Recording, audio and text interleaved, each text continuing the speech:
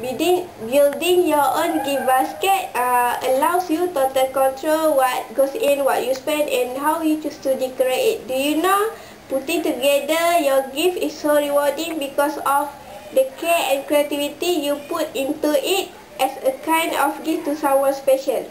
We will start with uh, the material that we need, step to to build the basket and also tips for making the tissue paper. Okay, uh, now let's get started by getting all the material that we need to build uh, the basket. Uh, first, we need uh, the basket. You can use any type, any shape or size of basket.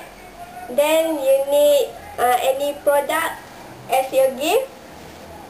You also need uh, the tissue paper to make the your gift colorful and then you also need the shrink wrap cellophane to uh, to covering your arrangement of your gift. And lastly you need the assorted ribbon.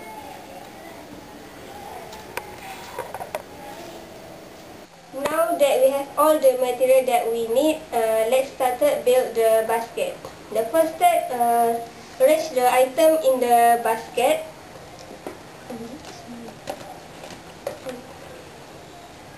from big to small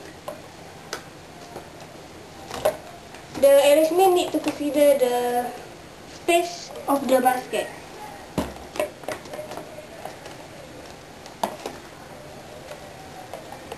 Uh, second step, uh, we need decorate the basket. Uh, uh, for example, uh, put the flower at the basket.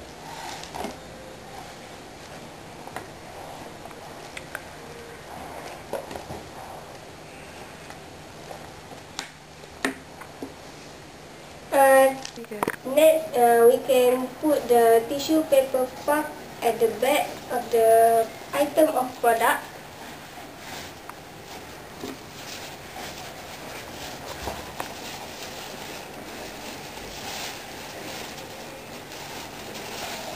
And the last step is uh, basket need to wrap uh, this basket with the cellophane uh, glitter at the top.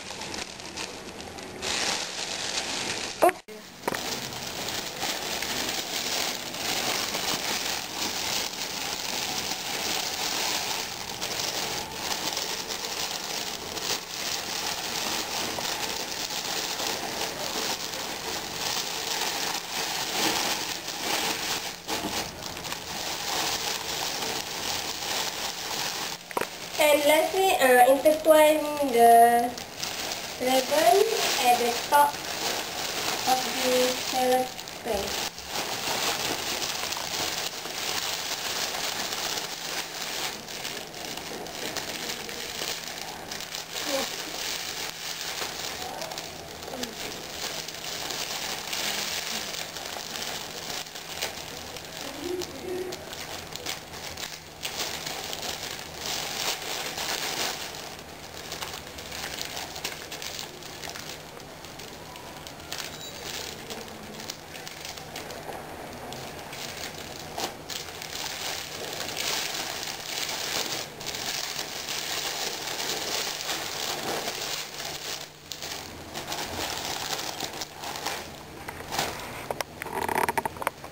Now we have finished building the basket. Let's continue uh, with the tips of making tissue paper puff. First, uh, find the center of the tissue. Then, uh, with uh, one hand underneath, use uh, other hand to pinch the center of the tissue. Then you twist uh, the pinch of the plate. After that, you twist the plate uh, in desired length.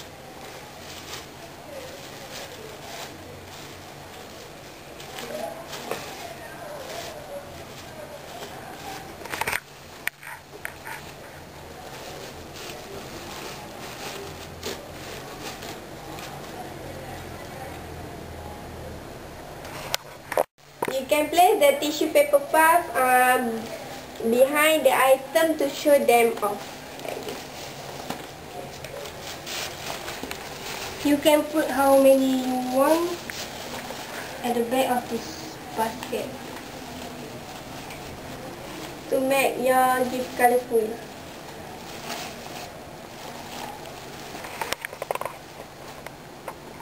Build your in your own gift basket is easy and simple. You just need uh, all the materials that you need.